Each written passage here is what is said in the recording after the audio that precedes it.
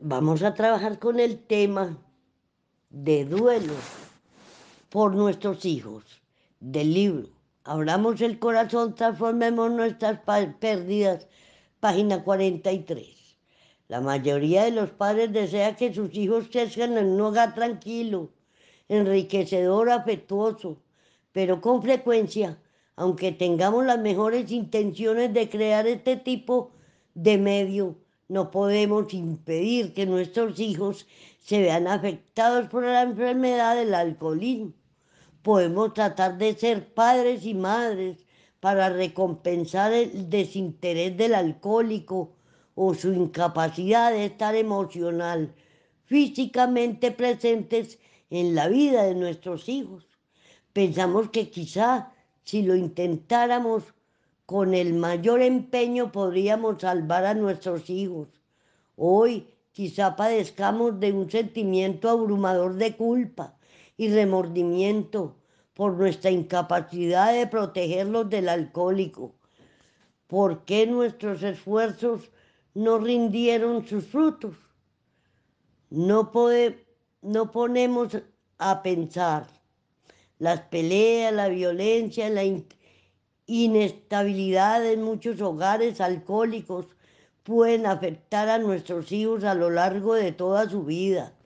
Ellos pueden haber presenciado cosas que nunca nos hubiéramos imaginado y nuestros sueños de criarlos en un, en un medio sano y seguro no se concretaron. Algunos dependemos de nuestros hijos para obtener el apoyo emocional y el consuelo que anhelamos obtener de nuestro cónyuge alcohólico. Ahora que comprendemos que esa no era una tarea, nos gustaría volver atrás y hacer las cosas de manera distinta. La comprensión por nosotros mismos es crítica al examinar este aspecto doloroso del pasado. Muchos hicimos todo lo posible con los conocimientos y recursos que teníamos en esa época. Mediante nuestra nueva comprensión podemos optar por centrar la atención en aquello que podemos hacer forma distinta hoy. Si seguimos conviviendo con la violencia, podemos decidir el camino a seguir para proteger a nuestros hijos y garantizar su seguridad y la nuestra. Si nuestros hijos adultos apenas comienzan a aceptar los efectos de haber sido criados en un hogar alcohólico, pueden pedirnos explicaciones sobre nuestro papel de padrinos, que revivíamos momentos penosos de su niñez. Pese a que este puede ser un momento difícil para nosotros, hacemos lo que podemos para brindarles apoyo emocional. La aplicación de los pasos cuarto y quinto a las relaciones con nuestros hijos nos han ayudado a muchos. El propósito de estos pasos no es culparnos, sino examinar los aspectos equivocados y perjudiciales de nuestro comportamiento como padres. En el cuarto paso hicimos un sincero examen de conciencia. En nuestro examen recordamos reconocer los aspectos de los que nos enorgullecemos como padres, así como aquellos que lamentamos. Nuestra meta es examinar a fondo y hacer lo que podemos para corregir las relaciones con nuestros hijos. Cuando estamos listos, podemos reparar el mal que les ocasionamos aunque nuestros hijos nos hayan, no hayan tenido una niñez que deseamos o que soñábamos para ellos. No es demasiado tarde para hacer lo que nos corresponde, para edificar hoy relaciones sanas con ellos.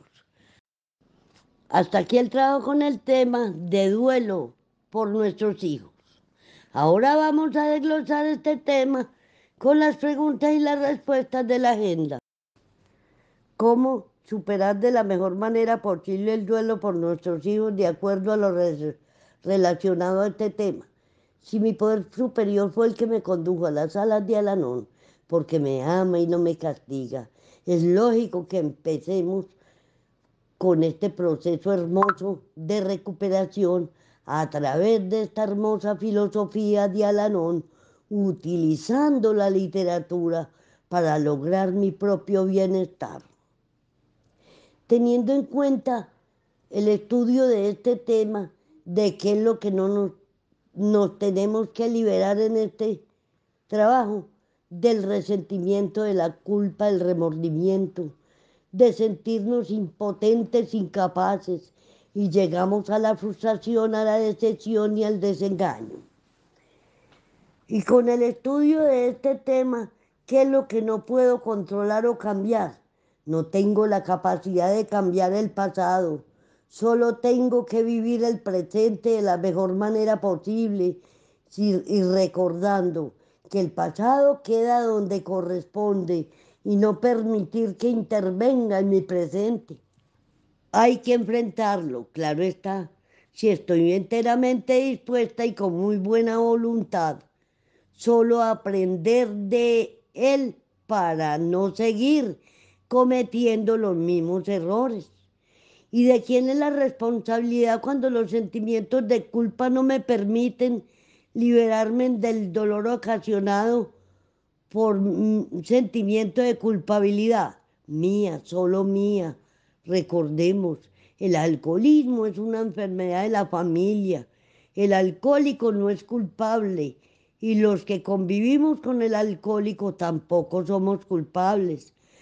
Hay que desaprender cómo aprender.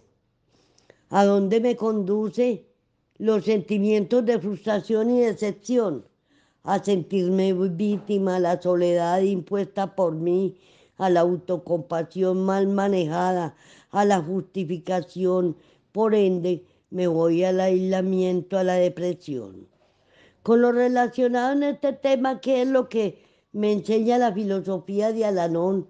para mejorar en gran medida lo que realmente comprende, lo que, cómo podemos superar con más eficacia el duelo por nuestros hijos.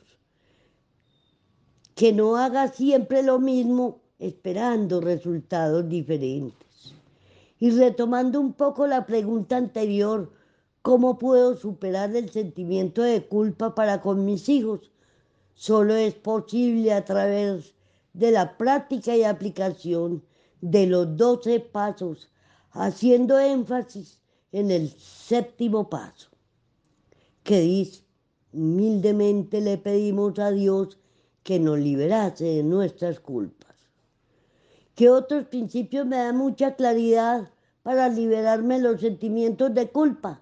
La oración y la meditación, el padrinazgo, la oración de la serenidad, el compartir, la comprensión, la compasión, el equilibrio, la coherencia, los límites, las expectativas poco realistas, el desprendimiento emocional con amor, especialmente esos viejos patrones de comportamiento que aprendí en mi niñez, que ya no los necesito, y muchas reuniones de Alanón.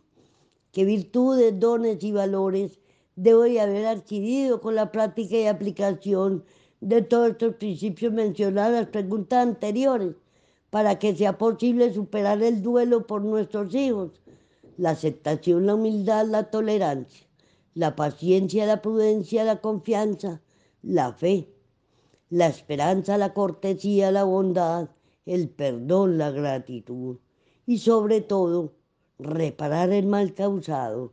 Recordemos, no puedo cambiar mi historia de dolor, pero siempre a través de la práctica de los 12 pasos me vuelvo mejor persona. Puedo así asumir la responsabilidad, sobre todo liberarme del peso de la culpa. ¿Qué lemas puedo tener muy en cuenta en el trabajo con este tema? Que empiece por mí. Progreso, no perfección. Esto también pasará Suelta las riendas, entrégueselas a Dios solo por hoy. Vámonos con este recordatorio. Nuestros hijos son la cosa más importante que debemos de considerar primero. Nuestra actitud es la clave del éxito en nuestras relaciones familiares. Hasta aquí el trabajo con el tema de duelo por nuestros hijos.